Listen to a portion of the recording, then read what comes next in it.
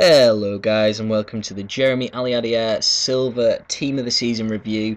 This is the first of many Silver Team of the Season players I'm going to review because I just love them. Look at that card, that has got to be one of the best looking cards that you can get. He scored a five, uh, in five games he scored 11 goals for me. This guy was a tank.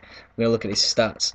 He got uh, he's got 90 finishing, 81 dribbling, 76 long shots, 77 ball control. Like how is this guy a silver? Like it's just unbelievable got 77 short pass, 86 shot, shot power, 79 volleys. I just found his all-round play immense. Medium, medium work rates, I'll come back to that. Uh, 94 acceleration. Uh, and those stats are just incredible, like 85 reactions, that was incredibly noticeable. 73 aggression and 75 attack positioning, um, really good. Now, the attack positioning I found really um, it was it was it worked well even though he had medium medium work rates.